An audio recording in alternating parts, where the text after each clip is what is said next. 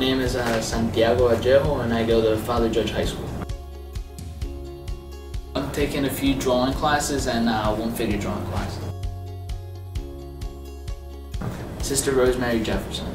She uh, ru- runs like a, an after school program for kids that go to prep schools and she helps them, you know, with, with their homework. She has like a nice little tutoring program set up. Mm-hmm. And what she does is she tutors us, she helps us with our SATs, and she helps us get into good schools. But I also mentioned it to her that um, if there was like a good summer program out there that I could do like during the summer to like help refine my skills. And first thing she mentioned was uh, Tyler School of Art.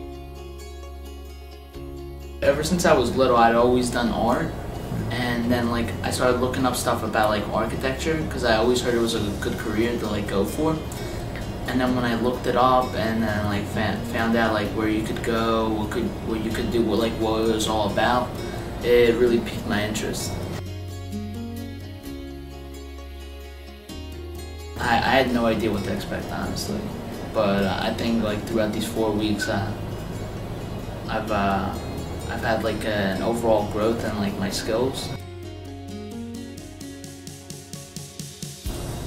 Well, uh, we're just figure drawing with models, and we're doing self-portraits and drawing.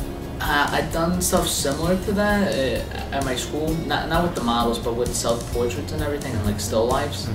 But um, nothing that can really compare to what I've done this summer.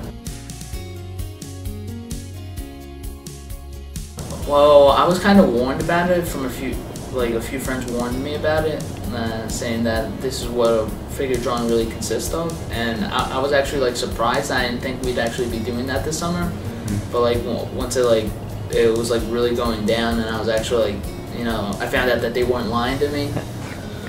Um, nothing. I wasn't like really surprised because I guess I was already expecting it. Well, some of the things I really liked, uh, I, I liked all my teachers. All my teachers were very helpful. Um, they knew what they were talking about, and I think like they, they taught me a lot. Um, of course, like the the lunches over here are pretty nice. Crepe truck definitely definitely one of my favorites. Um, something that could improve over here. Hmm.